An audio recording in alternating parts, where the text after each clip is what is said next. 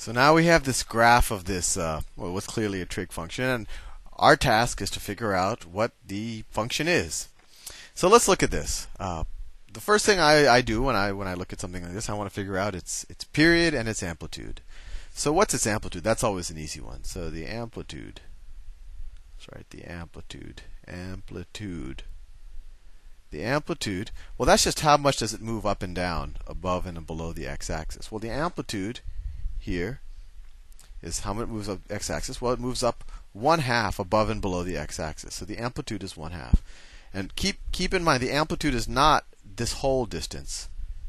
It's not this. It's just how much it moves up above or below the x-axis. So in this case, the amplitude is one half, and then we have to figure out what the period is. The period is how long does it take?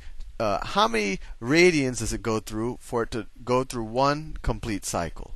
Well, if we start here and we were to follow the graph, it doesn't take until right here until we complete one cycle, right? Because here we're still going down and now we go below, so we're not repeating yet. And here's where we start repeating again. And then we start repeating again here. So every pi radians, we start the cycle over again. It happens the same if you go backwards into the negative radians. So the period is pi, right?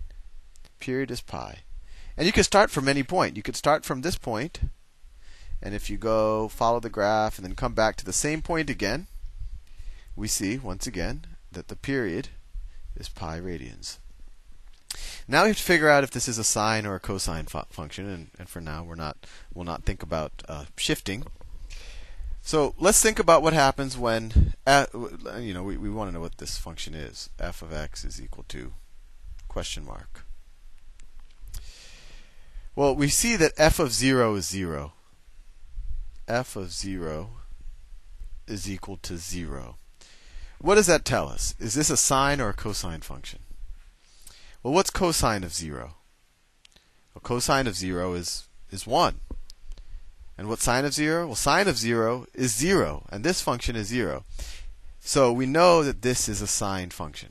So we know the formula is going to take the form f of x is going to equal the amplitude times sine sine of 2 pi over the period x. And if we just substitute these numbers we just figured out, we know that f of x is equal to 1 half sine of 2 pi over pi x.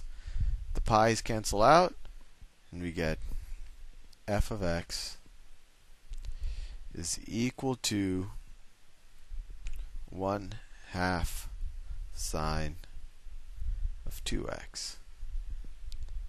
Now, just out of curiosity, what would have what would let's let's define another function. Let's define g of x is equal to 1 half cosine of 2x. What would have this looked like? Or what would have yeah, the grammar's a little difficult. So let me I, I picked the wrong color because f of x is actually the pink one. This is the one we have now. The g. So actually, let me circle that. This is f of x. f of x is this one right here. And now g of x, I'm going to do. So when x is zero, what is what is well? What is g of zero? Let's put zero in here. What? So this whole term will become zero. What's cosine of zero? It's one. And one times one half. So g of zero is one half.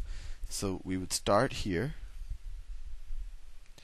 And then we would have, just like the sine function, we would have a period of pi because it has the same coefficient here. So this will just look like this. I think you get the point. It's just like the sine function, but it's just shifted to the left a bit. Well, I'm getting confused on this side. Ignore this. But if you look at this side, the important thing to realize is that it intersects the um, the y-axis at not one but one half. And the reason why it doesn't intersect it at one, even though that cosine of zero is one, is because we have this one half coefficient right here. I guess you can't call that a coefficient. I guess it's the one half um, times the cosine function. Hopefully that gives you a little bit more of a sense of, you know, if you just looked at a graph, being able to figure out uh, its equation. And I'll actually do one more video where we'll actually use the Khan Academy uh, trig graphing module uh, to figure out a couple more. See you soon.